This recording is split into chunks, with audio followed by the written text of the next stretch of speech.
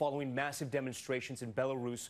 More than 200,000 on the streets of Minsk, calling for the ouster of the man described as Europe's last dictator. Here's ABC's Julia MacFarlane.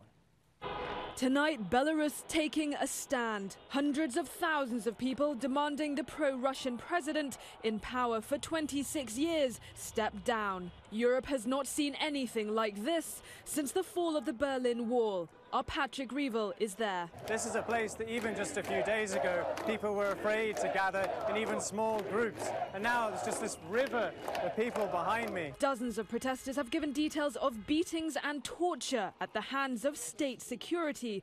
But that hasn't stopped the huge crowds taking to the streets for the eighth day in a row since last week's disputed elections.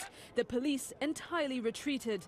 Alexander Lukashenko is known as Europe's last dictator. Just days ago, he appealed to Putin for assistance, warning that if he falls, other post Soviet states will follow suit. An estimated 200,000 people attended today's rally. The shout of the crowds is becoming louder and harder to ignore right on Russian President Vladimir Putin's doorstep. Tom? What could be Europe's next revolution?